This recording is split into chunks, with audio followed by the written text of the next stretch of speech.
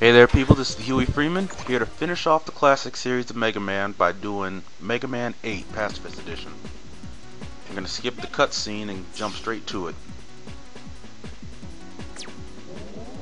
So, Mega Man 8 was done on the PlayStation 1 and the, I believe, Sega Saturn. Or possibly Dreamcast. I could be wrong on that one. Um, I am playing it through GameCube right now. Or actually, technically the Wii, but um, a GameCube Mega Man collection. So this one's going to be a little different. Um, this one has an autosave option where as soon as you beat the level, um, it saves regardless. And there doesn't seem to be a way to turn that off. So instead of typical clean runs, um, basically the first time I beat the level is what you're going to see here. So expect them to look a little um, messier than usual. Um, here we have the new gimmick weapon, the Mega Ball. Um, this is actually very helpful for um, for pacifist runs because it gives Mega Man a double or triple jump, if you will. Um, because you can, it's usually designed for kicking, but if you fire it at the right time in midair, you can go ahead and um, bounce off of it. Uh, we have a secret passageway here, and this is the only Mega Man classic game that I know of where Mega Man can swim. Not as much of a fan of it, but hey, I can understand them trying to advance things a little bit.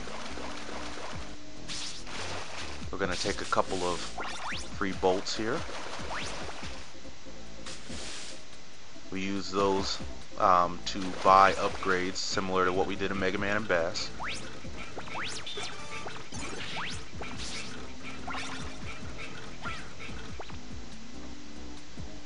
Head back to the normal section.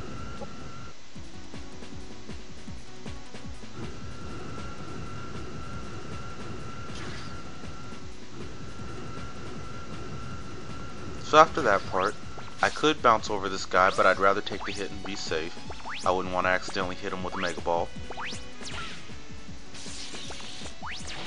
Um, for the record, and I'm not sure if anyone's going to complain about it, but I don't consider hitting the party balls um, going against the pacifist run. Party ball is not really an enemy. Um, it literally exists to give you an item.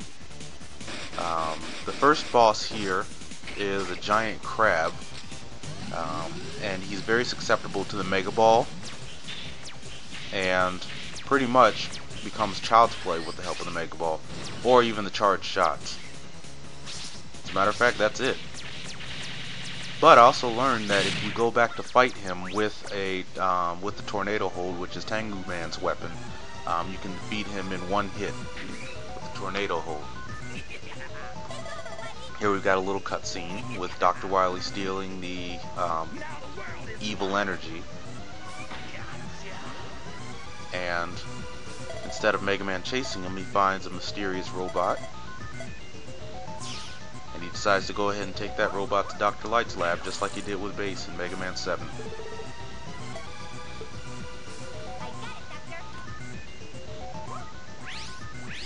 So I'll see you soon guys.